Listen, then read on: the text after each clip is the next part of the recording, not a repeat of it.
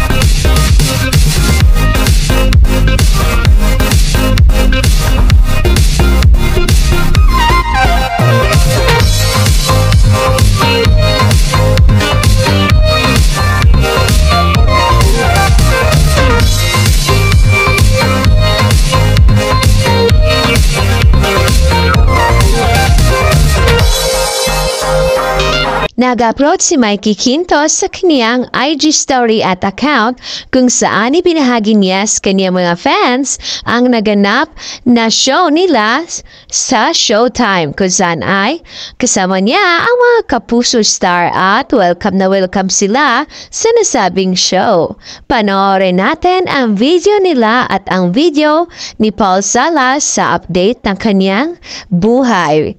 At huwag limutang magagay ng komento dito. Thank